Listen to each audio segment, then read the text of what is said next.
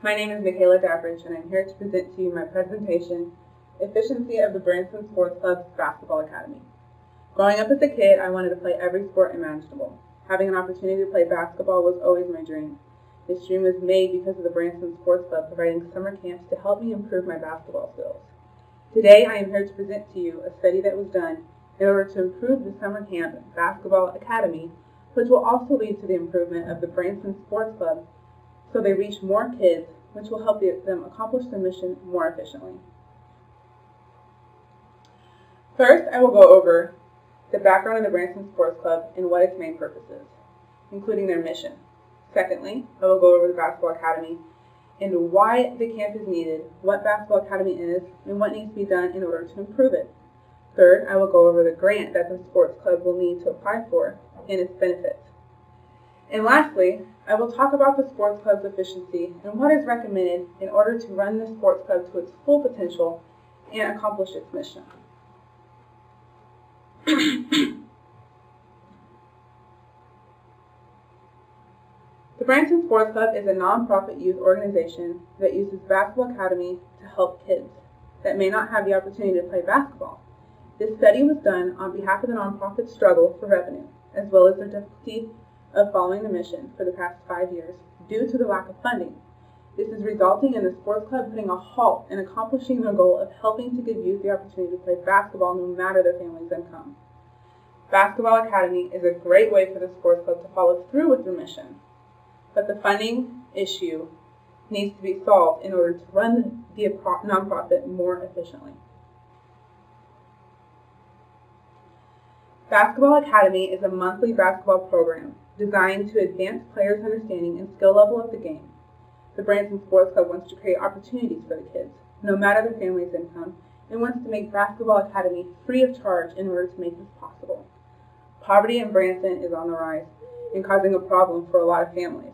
If poverty continues to increase, the sports club will begin to lose more funding and people will not be able to afford extras for their kids. As we see here on this chart, poverty is on the rise. Figure 1, earnings per worker and household income.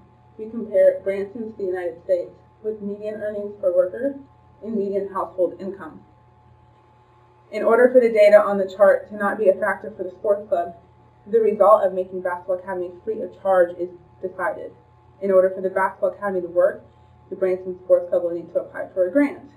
In my line of research, I have found a programmatic grant from Finish Line that the sports club qualifies for.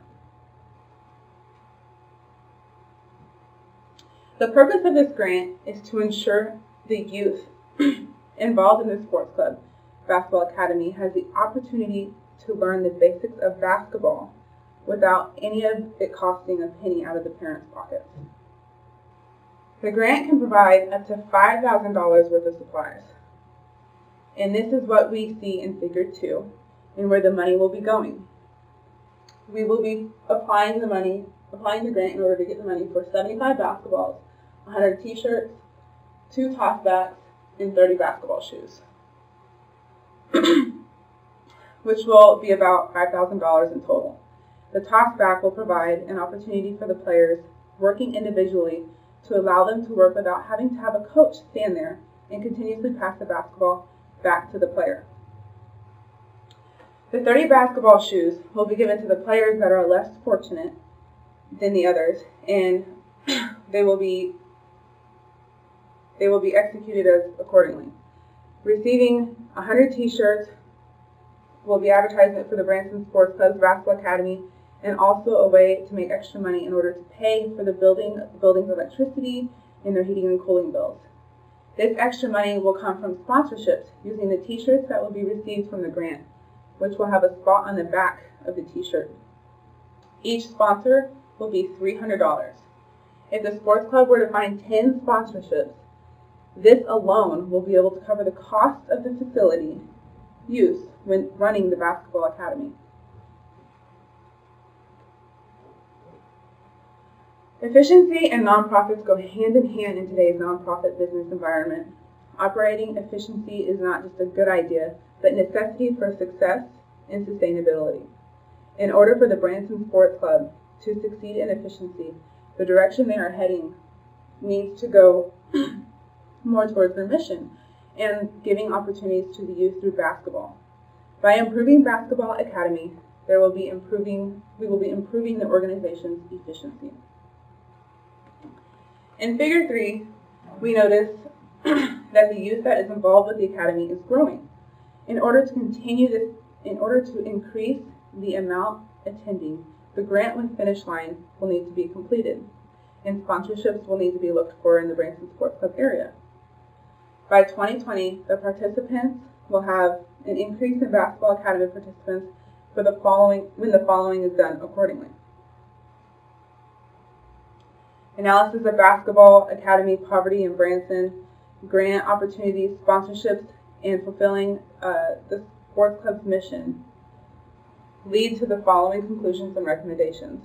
When improving basketball academy in order to stay on track with the nonprofit's mission and succeeding in efficiency. We have applying for the Finish Line grant for the $5,000. We have, after receiving the money from the grant, we use it to buy t-shirts, basketballs, toss backs, and shoes, and we will charge $300 a logo in order to get the sponsor on the back of the t-shirt, which will cover facility costs. After these are completed, the Basketball Academy will rise in participants. And the Branson Sports Club's efficiency will follow their mission. The Branson Sports Club will benefit and meet its missions along with its community as a whole. When having a when having a chance to give their kids an opportunity through basketball, no matter the income status of the household. I want to thank everyone for coming today, and I want to thank you for your time and listening to my presentation. And I'd like to ask if there are any questions at this time.